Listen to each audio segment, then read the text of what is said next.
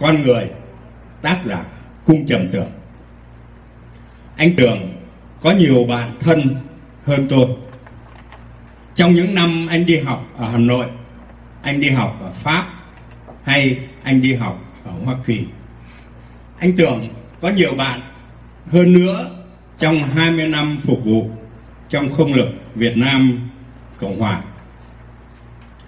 Và trong 10 năm ở tù Cộng sản, qua 10 trại tù khổ sai từ Nam ra Bắc. Nhưng anh muốn tôi nói những kỷ niệm sống với anh và tôi còn một cái may mắn là đã được đọc thơ của anh Cung Trầm Tưởng khi nó mới in ra và khi bài thơ còn giáo mực năm ấy là năm 1953 ở Hà Nội. Tôi có thể nói những bài thơ đầu đời của anh Tưởng tôi đọc ngay khi nó đăng báo.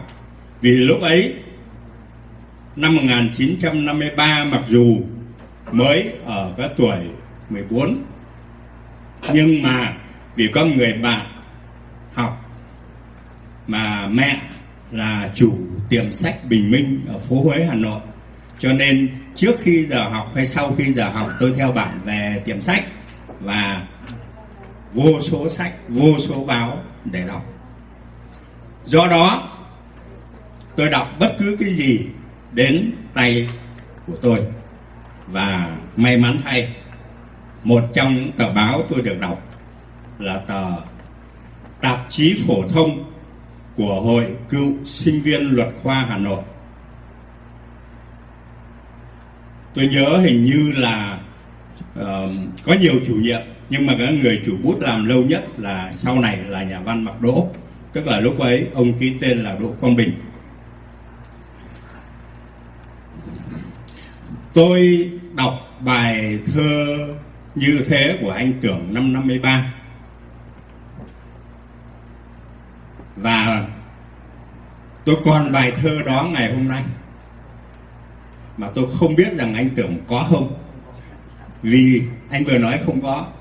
Là bởi vì trong cái tuyển tập mà quý vị mới mua ở trong tay có một giai đoạn là từ 48 cho đến 53 anh thu lại những bài thơ anh làm trong thời gian đó.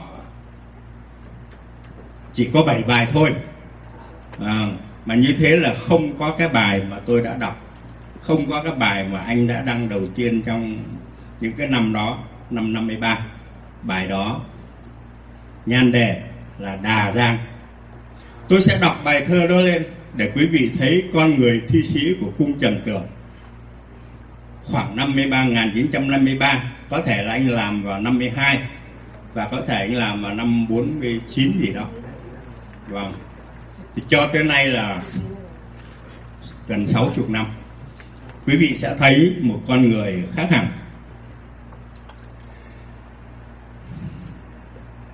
Tôi chỉ có 15 phút để nói về anh.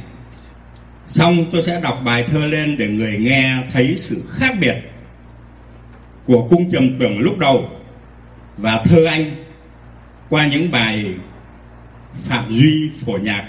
Sau này nó khác nhau ra làm sao. Mặt khác, tôi đọc thơ cung trầm tưởng ngay khi bài thơ được in ra như vừa mới nói, chứ không phải là sau này tôi mới đọc lại như một nhà biên khảo. Cái thủa đó thơ của anh đã cho thấy một thanh niên luôn luôn sống ở trong không gian, ở trong sông núi. Và tâm tình của anh cũng được bày rõ ràng ở trong tập thơ. Tôi xin nhân thể nói về cái giai đoạn 53 mà anh tưởng đã làm thơ, đã đăng trong cái tập phổ thông của cựu sinh viên luật lúc ấy, cùng một lúc tôi được đọc văn dịch của nhà văn Mạc Đỗ, kịch của Mạc Đỗ, kịch của Nguyễn Sĩ Tế, văn của Vũ Khắc Khoan, văn của Nguyễn Hữu Thống Nhuệ Hồng. Tức là bây giờ anh luật sư Nguyễn Hữu Thống ở Sáng Ngôi Dê và thơ của Cung Trầm Tưởng. Bởi thế, sau này khi vào Nam, tôi tìm đọc những người ấy và tôi lại tiếp tục đọc các anh ấy như là những người cũ nhưng mà trước khi đọc tôi cũng xin để nói với anh tưởng và quý vị rằng tôi tìm đọc tờ tạp chí phổ thông của hội cựu sinh viên luật khoa hà nội không phải chỉ vì đi tìm thơ của anh tưởng mà ở đó có hai cái chuyện rất là hay. Đó là chuyện cái đêm hôm ấy à, do nhà văn mặc đỗ dịch một tiểu thuyết của nhà văn anh là Somerset và một cái chuyện nữa là một giấc mơ cũng do nhà văn mặc đỗ dịch chuyện chuyện dài của một nhà văn nổi tiếng của áo quốc là bà Vicky Bum. thì một trong những cái chuyện đó mà tôi không nhớ là trong chuyện nào. Bây giờ thì thực sự không nhớ, là vừa mới vào đọc vào thì thấy cảnh một thanh niên quỳ xuống chân, dưới chân một người đàn bà để xin em hãy yêu anh thì tôi rất là tức giận bởi vì nói rằng đàn ông thanh niên gì mà hèn thế đi xin tình yêu. À thế thì tôi không biết rằng cái lúc ấy tôi nghĩ như thế là, là lúc ấy là xin nhắc lại tôi 14 hoặc 15 tuổi. Thế nhưng rất có thể sau này nó đổi khác thì tôi không biết vì sau này tôi không có đọc những cái cảnh như thế nữa. Thưa quý vị đây là bài Đà Giang tôi xin được phép đọc theo cái cảm hứng. Nếu mà tới cái lúc đọc, nó có thể ngâm thì tôi ngâm, mà không thì tôi đọc luôn. Bài Đà Giang của anh Cung Trầm Tường. Trong tập bản thổ và in ở báo tạp chí phổ thông của hội cựu sinh viên luật khoa Hà Nội, năm 13 Đà Giang Đà Giang, rừng núi, cảnh hoang mang. Chiều chiều xóm tối thú về thăm ngang tàn hỡi anh da vàng vàng màu vàng anh anh có nghe vang con sông hùng vĩ? Từ bao thế kỷ, sông ơi, chảy mấy dặm đường, từ đâu sông xuống yêu thương đồng bằng? Ta là cô lự xuôi trên sông đà, chiều vui tu vũ, sớm sầu sơn la. Ta về nghỉ bến trung hà, ngồi nghe cô lái mặn mà kể duyên. Mai đây ta lại thuê thuyền, chèo vô sông nhị.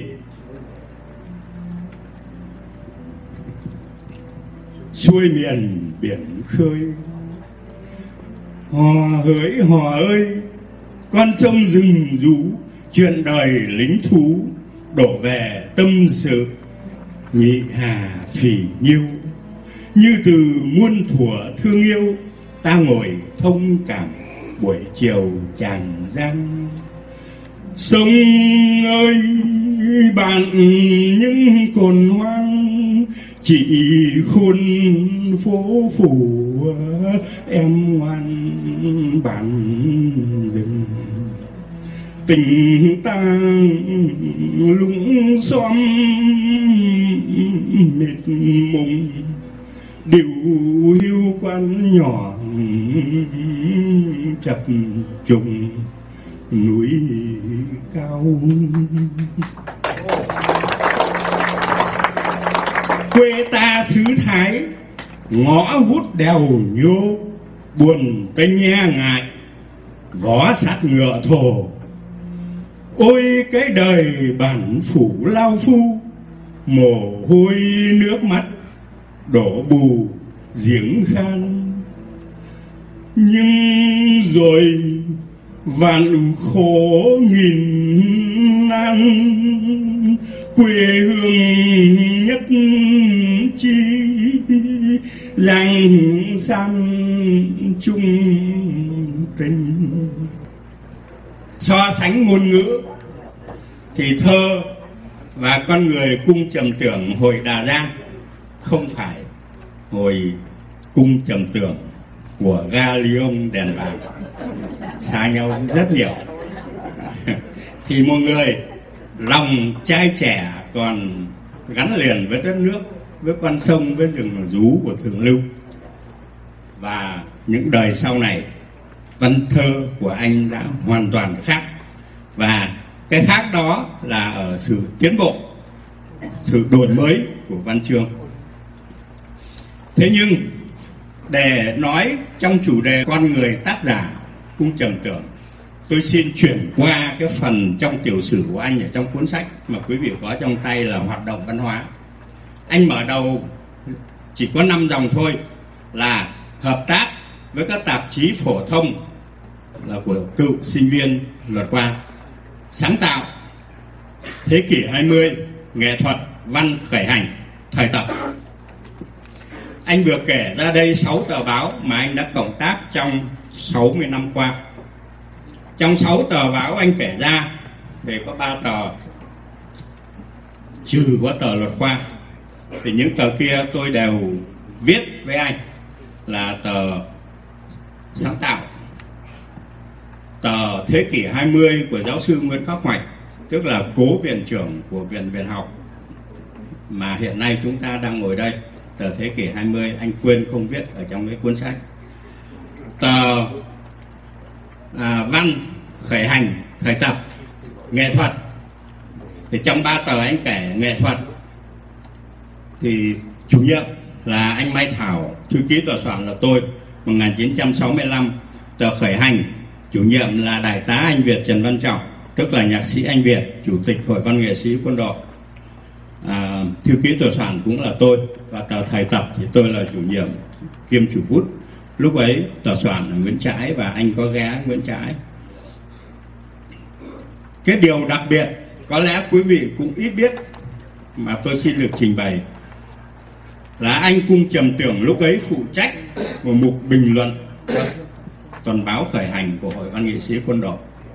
Văn chương bình luận của anh cung trầm tưởng, tôi có thể nói cho thấy một con người hoàn toàn khác với cung trầm tưởng ở trong thơ.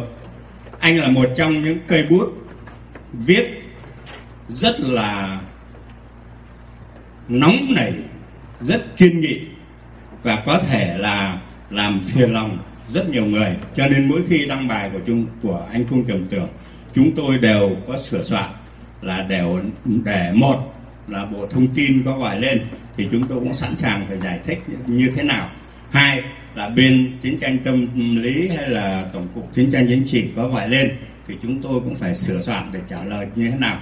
Bởi vì những bài viết ấy rất là đụng chạm. Tôi có thể trình bày cùng quý vị những cái đụng chạm bằng những cái câu văn đích xác do chính anh viết, chứ không phải do trí nhớ của tôi. Ở trong cái thời gian giữ mục sổ hành trình ở trên tuần báo khởi hành. Cũng có nghĩa là khi viết, anh cung trầm tưởng đã lên tiếng về những chuyện vừa xảy ra, những vấn đề đang nóng hổi. Anh viết như anh nói, trong bài cuộc bao vây vô hình, người ta đọc thấy như thế này. Không ở bên này thì ở bên kia. Hòa giải cũng là một chọn lựa, nhưng đứng ngoài cuộc là vô liêm sỉ im lặng là đồng lõa với tội ác, cung trầm tưởng. Khởi hành số 9 ra ngày 26 tháng 6 năm 69 trang 2 dĩ nhiên, một bài viết có tính cách bình luận thì phải đăng ở nơi trang 2 khởi hành ở Việt Nam là của hội văn nghệ sĩ quân đội. Đăng những bài như thế, cho nên chúng tôi luôn luôn sửa soạn để bút chiến tới những cái bài sau. Khi kêu gọi các nhà văn tích cực tham gia việc quản trị thị trường xuất bản, cung trầm tưởng viết, hiện nay nhiều tác giả phải cúi đầu nhận một giá biểu hèn mọn, ấn định bởi một bọn mại bản không hiểu gì về văn chương. Lúc ấy, năm 1969 thị trường sách báo miền Nam như rừng, hàng tháng có khoảng 2.000 cuốn sách đủ loại được xuất bản chúng tôi làm chủ đề lên tiếng trước bọn gian thương văn nghệ. Và trong bài một cánh cửa mở cho người viết văn, cung trầm tưởng nói thẳng, ngành xuất bản và ngành phát hành sẽ thôi là dịch vụ trung gian mại bản, thứ môi giới tiểu xảo, lật lọng để trở thành một kỹ nghệ. Anh ký tên rõ ràng cung trầm tưởng trong bài gọi là một cánh cửa mở cho người viết văn, sổ hành trình khởi hành số 10 trang 1 tức là bài này tôi đăng ra trang nhất trong thời gian các cơ quan văn hóa, văn nghệ của Việt Nam Cộng Hòa hội họp luôn luôn tiếp xúc và thảo luận, vận động và tranh đấu để thực hiện một điều khoản có dự trù ở trong hiến pháp là thành lập Hàn Lâm Việt. Nhưng sau rốt cuộc, chỉ thành lập được một cơ cấu dung hòa thỏa hiệp, gọi là Hội đồng Văn hóa Giáo dục. Cung Trầm Tưởng viết bài Sĩ Quẻ đả kích giới trí thức vòng ngoài Đừng ngạc nhiên lời của anh viết. Khi thấy trí thức Sài Gòn là những sĩ quẻ chính hiệu. Trong bài nhà thơ kể lại, gần 100 năm thuộc Pháp, Việt Nam không thiếu gì những sĩ quẻ bám vào thế lực ngoại quốc cho con cái đi du học ở lại nước ngoài mình thì hưởng lợi lộc của ngoại nhân trong đó, anh viết, tôi hiểu sĩ quẻ trong ý nghĩa đê tiện nhất, không những mất thăng bằng trong thể xác, mà còn vong thân trong tâm hồn. Chắc chắn như thế là vì tôi đang nói về con người của tác giả cung trầm tưởng anh không chỉ là một nhà thơ với âm điệu trầm bổng và chữ nghĩa tân kỳ, anh còn là một cây bút lên tiếng mạnh mẽ về các vấn đề công chính.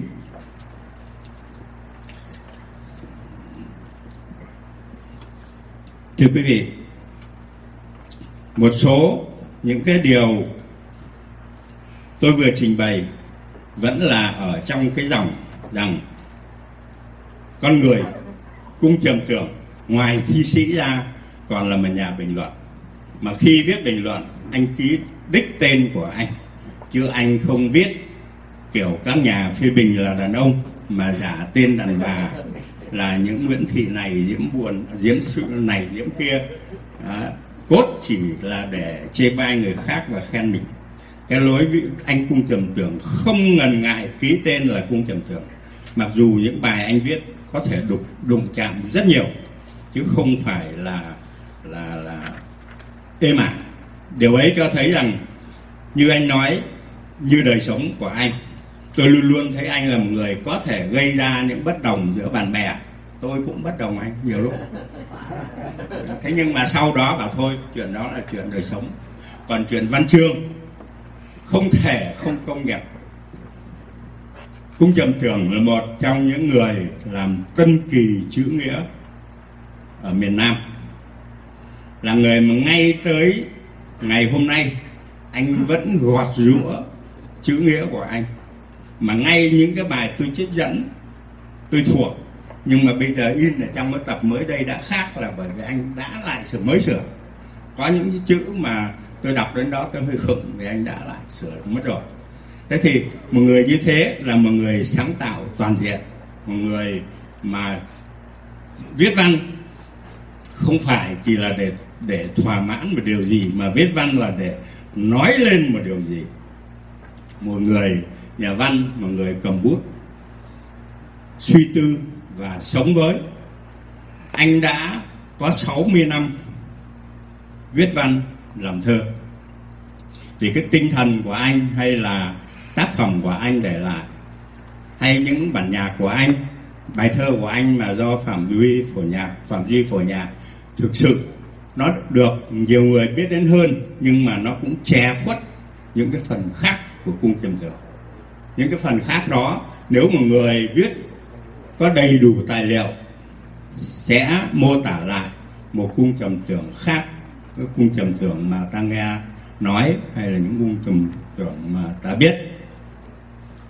Tôi cũng còn những cái kỷ niệm như là bay với anh cung trầm tưởng ở trên một chiếc Cessna lòng vòng ở trên trời miền Nam và nhìn xuống những hố bom B52 lõm chõm ở trên ruộng đồng đất nước giống như là một cái đài hoa sen mà người ta đã bóc hết những cái hồ sen đi.